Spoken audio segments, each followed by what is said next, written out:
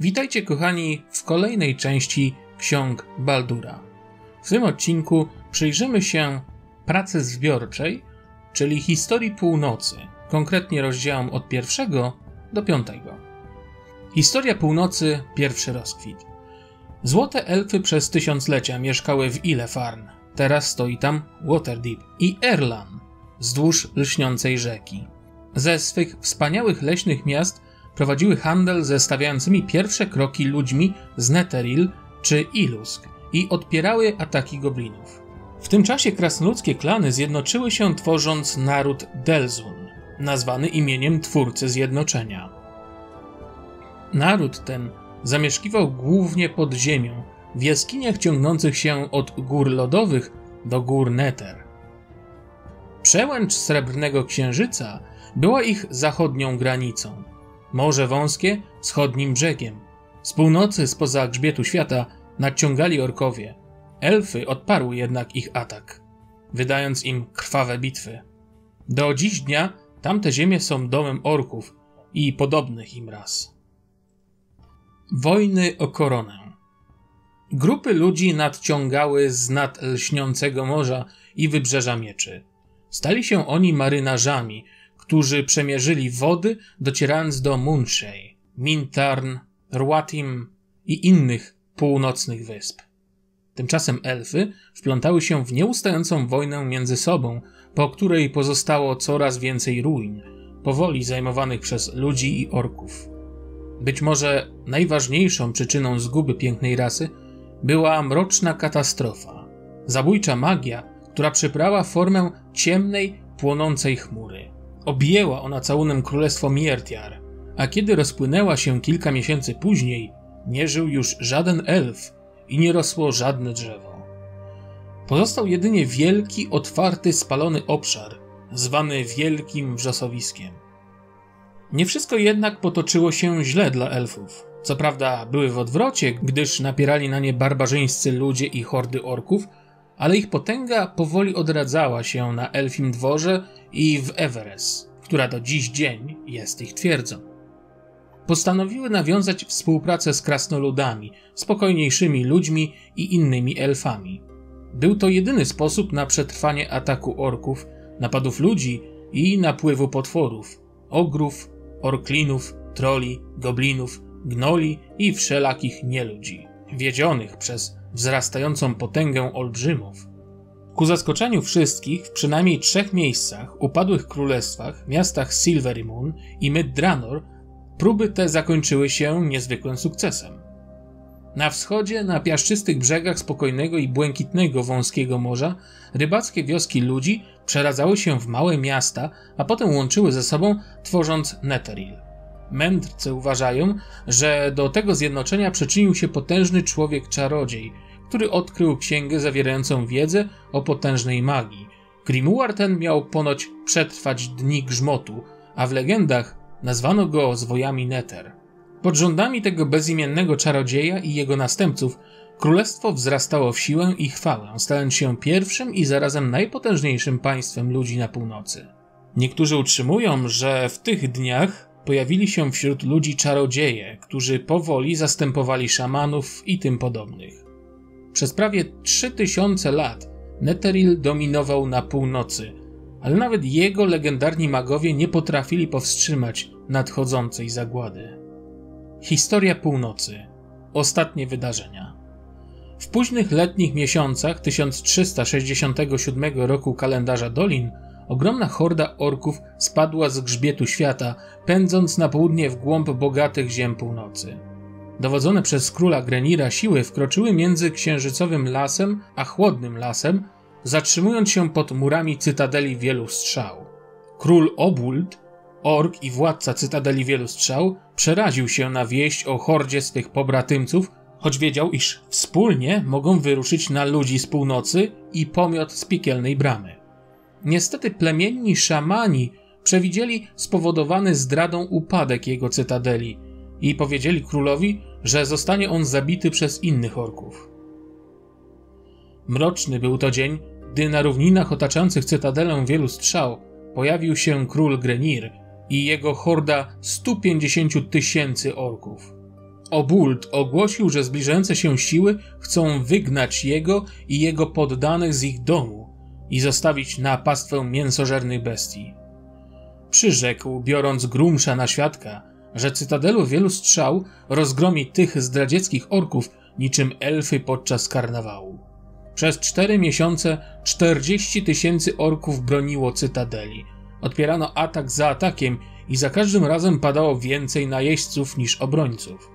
Niestety, nie najlepsze warunki życia za murami, które powiedzmy szczerze, nigdy nie należały do dobrych, również zbierały swe żniwo. Kulminacja bitwy o cytadelę wielu strzał przypadła na pierwszy dzień Uktar. Ziemię obrońców i najeźdźców pokrywała cienka warstwa śniegu. Król Grenir rzucił wszystkich swych żołnierzy na wroga. Wrota w końcu poddały się taranom i cytadelę opanował szał tańczących ostrzy. W bitewnym chaosie królowie dojrzeli się i rzucili się na siebie. Niemal w tej samej chwili cytadela zaczęła płonąć. Orkowie, którzy przeżyli bitwę przez długi jeszcze czas opowiadali o niezwykłej potędze dwóch królów, walczących na oczach swych zamarłych w bezruchu żołnierzy. W końcu Obult przebił mieczem Grenira. Nim jednak wódz najeźdźców wydał ostatni dech, zdołał poważnie ranić swego przeciwnika. Orkowie znów rzucili się na siebie i nikt nie jest dziś pewien, co stało się z królem Obuldem. Z dymu i śniegu wyłonił się prawdziwy zwycięzca. Krastoludy z klanu wojowniczej Korony, wspierane przez kontyngent Silvery Moon. Nowi najeźdźcy rzucili się przez strzaskane drzwi i szybko wypędzili wyczerpanych orków z cytadeli na równiny. Władzę nad cytadelą wielu strzał objął król Emerus, a krasnoludy nazwały miasto jego starym mianem, czyli Felbar.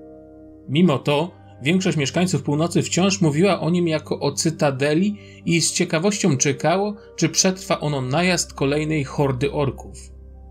Wódz wojowniczych koron wezwał wszystkich swych ziomków, by przybywali i wzmacniali szeregi obrońców miasta. Szeroko rozpowszechnia się też wśród społeczeństwa krastoludów wieść o odkryciu nowej żyły złota i srebra. Eksodus elfów. Ta epoka pozostawiła za sobą siedziby elfów otwarte na chciwość łupiących je ludzi i orków. Kiedy elfy zdecydowały się opuścić północ i wyruszyć do Evermeet, ich dzieła szybko zniknęły. Pozostały jedynie takie miejsca jak Stara Droga czy zrujnowany port w wysokim lesie.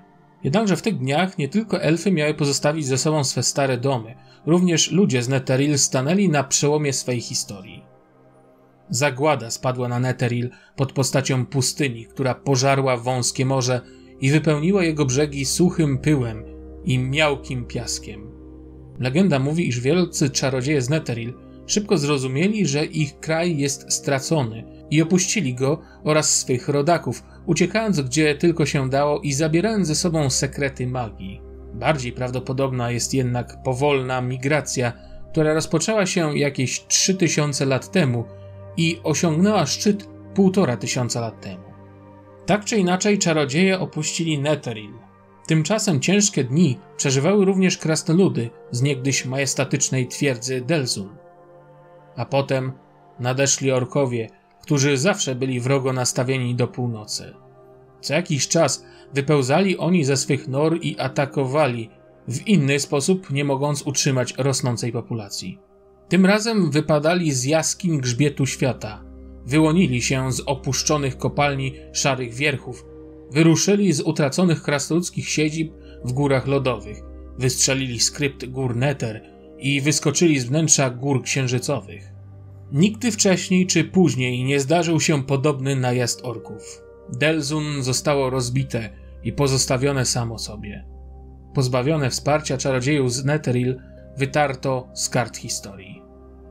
Samotne elfy z Erlan oparły się siłom orków i z pomocą Entów Turlanga oraz innych nieznanych sprzymierzeńców zdołały odsunąć na kilka stuleci koniec swego królestwa. Na wschodzie Erlan zbudowało fortecę Askalhorn i gdy sprzymierzeńcy zbudowali Kars w wysokim lesie, przekazali ją uciekinierom z Netheril. Część uchodźców założyło również Lork i Grzmiącą Wodę, a inni przemierzyli wzgórza i równiny, wędrując na wschód i północ od wysokiego lasu. To oni są przodkami Utgardu i założycieli Silverymoon, Everlundu i Sundabaru. Ekspansja ludzkości.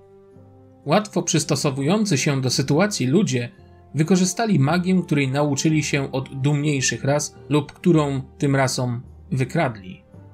Z jej pomocą zdołali pokonać wszystkich wrogów i po pewnym czasie złamać potęgę olbrzymów i orków. Ciągle i bardzo liczne małżeństwa między ludźmi a elfami doprowadziły również do niemal całkowitego zniknięcia elfów czystej krwi.